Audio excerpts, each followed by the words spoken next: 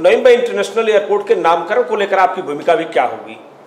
नई Mumbai international airport की ये बात पहली छेड़ी गई अग्री समाज जो हमारा है हाँ, हाँ। उनकी जो कमेटी थी जो उनके नेतृत्व में काम चल रहा था दो साल से।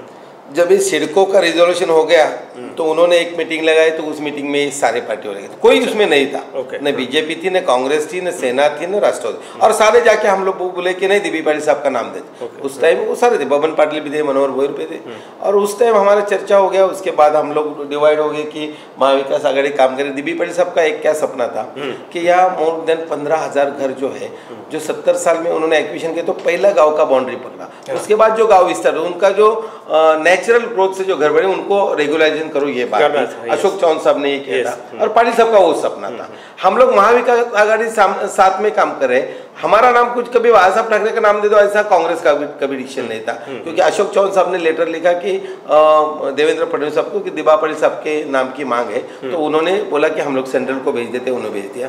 नाना पटोले साहब के बाद जब समिति गए तो बोला उन्होंने सीएम के पास दिया। हम दिबी पाटिल साहब के अनुयायी है।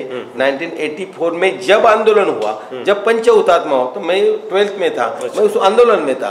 और उनके आखिर तक उनको साथ दिया। वो आदमी समाज के लिए आज जो हज़ारों करोड़ का मैं तो हमेशा मेरे भाषण सुनिए। अब मेरा गाँव है अगर 500 करोड़ की प्रॉपर्टी आई हुई है तो ये देन दिबी पाटिल साहब के और जो बंगले गाड़ियाँ सबकी दिखती है। ये सब साढ़े बारह टक्के की देन है। Yes. और उन्होंने अपना घर कभी नहीं बनाया क्योंकि वो उन्होंने कभी नॉन कर आदमी थे ज़िंदगी भर लोगों के लिए लड़े। तो उनका नाम देना उचित है। हमारा कांग्रेस का पॉलिसी मैं यहाँ का लोकल नेता हूँ। मैं तो मेरा सौ टक्का उनके बाद अभी कांग्रेस का अध्यक्ष हूँ। तो हम लोग यहाँ के जो लोकल है डिमांड है और दिव्य पाटिल साहब के हम लोग अनु है तो उनका नाम देना चाहिए और ये जो मांग है इतनी ज़ोर से है तो हम लोग उनके साथ हैं। लेटेस्ट अपडेट्स और ताज़ा तरीन खबरों के लिए टीवी वन इंडिया लाइव को सब्सक्राइब कीजिए और नोटिफिकेशन पाने के लिए बेल आइकॉन को दबाना मत